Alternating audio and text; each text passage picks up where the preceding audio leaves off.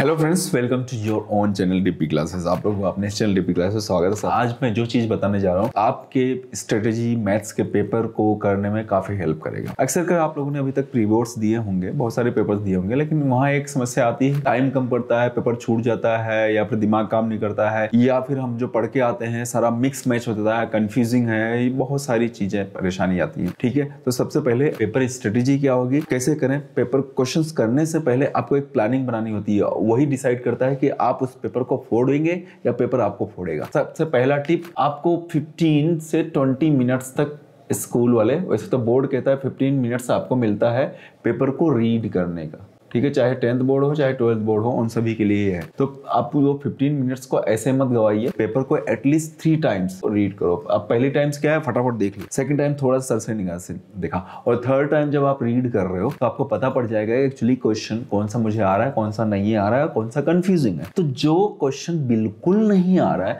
उस पर लगाएँगे आप क्रॉस बिल्कुल नहीं आ रहा है। ऐसा लग रहा देखा ही नहीं सेकंड आएगा, जो क्वेश्चन थोड़ा आ रहा है, थोड़ा नहीं है कंफ्यूजिंग उस पर लगाएँगे आप एक छोटा सा सर्कल ठीक है? और फिर कुछ क्वेश्चन ऐसे हैं जो बिल्कुल अच्छे से आ रहे हैं, उन पे हम कोई साइन नहीं लगाएँगे। अब 15 मिनट्स खत्म हो गया, अब हमें पेपर करना स्टार्ट करना। पेपर आपको बड़े क्वेश्चन से छोटे क्वेश्चन की तरफ़ बढ़ना है, क्योंकि अगर एमसीक्यूज जो होता है एमसीक्यूज को पहले करना चालू करेंगे तो ज़्यादा टाइम कंज्यूमिंग है। लेकिन फिर भी मेरा तो ये कहना एक्सपीरियंस से कहता है, आप डी सेक्शन से पेपर स्टार्ट कीजिए, कौन से जिन पे आपने कोई साइन नहीं लगाया है, वो वो आपको अच्छे से आते हैं, पहले उन क्वेश्चन को फटाफट करते जाओ, उन पर टिक मारते चले जाओ। इसी तरीके से डी सी बी ए तक पहुँच जाएँगे। मतलब एमसीक्यूज वाले भी वही क्वेश्चन जो आपको अच्छे से आते हैं। अब सेकंड टाइम में ये हो गया तो आपके दिमाग में से वो प्रेशर खत्म हो गया जो उससे रिलेटेड फॉर्मूला वगैरह थी। रिलैक्स हो जाएगा माइंड फेल होने वाला टेंशन खत्म है, बहुत अच्छा हुआ। नेक्स्ट अब आएँगे जो कंफ्यूजिंग वाला था। अभी तक भी क्रॉस पे तो जाना ही नहीं। कंफ्यूजिंग वाले को आप करेंगे, थोड़ा उसके लिए सोचेंगे विद इन टू और थ्री मिनट्स फिर उसके जितना भी आपको आ रहा है वो करके आगे बढ़ जाइए, उसमें ज़्यादा समय नहीं देना।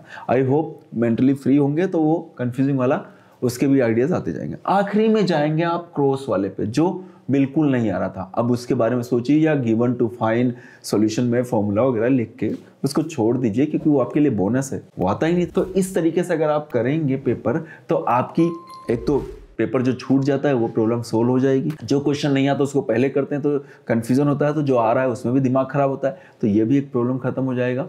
और स्पीडली करेंगे, आपको ये भी पता पड़ जाएगा कौन सा मैंने किया, कौन सा नहीं किया है। बट याद रखना, जब तक आपको जो सारे क्वेश्चन आ रहे हैं, तब तक आप क्रॉस कंफ्यूजिंग और नहीं आने वाले को देखना तक नहीं है। हमारा दिमाग बार बार डाइवर्ट होगा, अरे यार उसको कर लेते हैं टाइम ज़्यादा है। नहीं नहीं करना। पहले जो आ रहा है, उसको अच्छे से करना। तो इस तरीके से अगर आपके प्री बोर्ड्स हो रहे हैं 2023 में आप बोर्ड देने जा रहे हैं तो उसके अंदर प्लानिंग कीजिए और नहीं तो पहले प्री बोर्ड के अंदर ये स्ट्रेटेजी अपनाइए और आप देखिए इसका इफ़ेक्ट ये मैं कोई थ्योरेटिकली नहीं बता रहा हूँ ये मैंने स्टूडेंट्स में आजमाया हुआ है उन्होंने किया है उनको इसका फ़ायदा मिला है। सो so, कैसी लगी ये ट्रिक मुझे ज़रूर बताइएगा कमेंट्स करके और अपने फ्रेंड्स को शेयर भी कीजिए जो अभी बोर्ड का एग्ज़ाम्स देने जा रहे हैं okay so wish you all the best आप सभी के बहुत अच्छा पेपर होगा।